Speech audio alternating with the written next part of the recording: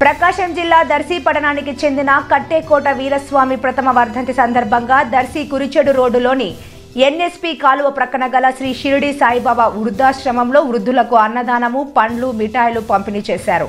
మరియు ఇరవై ఐదు కేజీల బియ్యం ఆశ్రమ నిర్వాహకులు షేక్ వలీకి అందజేయడం జరిగింది. ఈ కార్యక్రమంలో కట్టెకోట హరీష్ యాతం రమణారెడ్డి చిన్నపురెడ్డి మరియు కుటుంబ సభ్యులు పాల్గొన్నారు.